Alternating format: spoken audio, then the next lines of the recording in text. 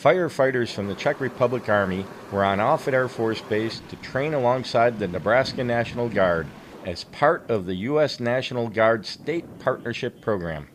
So today we've got our state partnership, uh, the Czech Army. They're here and we are doing training with them on live structural firefighting. And then a little bit later today we'll be doing some rope rescue. It's not something that we accomplish every day within the fire service, but it is a very low frequency but high risk maneuver. The partnership between the two started in 2016 when Nebraska Guard members visited the Czech Republic and has since alternated between locations every year. And they, we've had a great time going over there. They show us a really good time. Uh, they show us how they do things over there with a little bit of quirks with the Europe versus the United States uh, tactics. Um, but some of their equipment's a lot different than ours. Their helmets, their structural gear, uh, the same with us. Ours is a lot different than them. This year's group of 14 Czechs made this the largest contingent to travel to Nebraska. It's a very uh, good opportunity to improve their skills, their professional firefighting skills, and uh, recognize some new methods, new tactics, uh, equipments which uh, our colleagues uses, and also we can give them uh, our information, our uh, experience from our side, and uh, we can share common tactics, share what is the same, what is the difference. So it's a very important part of our training. Major Mahishka believes there is more to the training that is equally important.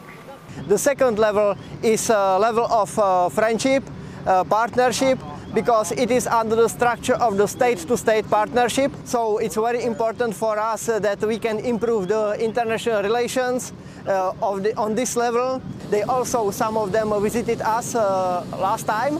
So uh, I am happy that it is not uh, just one occasional uh, stay here, but it is a part of long-term cooperation which is much more fruitful. Even though all the firefighters are experienced, the training is appreciated.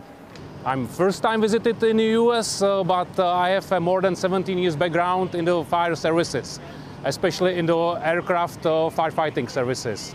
So uh, for me, it's a great uh, experience and exchange of point of view about the tactics, about the spending resources for me. And I really enjoy it. I think it's a great opportunity. It's a lot of fun. The language barrier is a, a bit of a challenge. It forces you to think about what you're saying and how you're saying it to where other nations can understand you. And it gives you an opportunity to learn from them also. Not all military installations have airframe burn pits, so the Offutt Fire Department hosted the training. So we welcome them into the uh, Offutt Air Force Base here because we do have those facilities that they can work on and train on. The biggest issue we have is obviously communication. As firefighters, a big part of firefighting is safety, and we want to make sure that everybody's on the same page. So everything worked out today. Uh, no one got hurt, and it was good training for the Czech as well as Lincoln and Offutt. For 55th Wing Public Affairs, where the sun never sets on the fighting 55th, I'm Kevin Schwandt.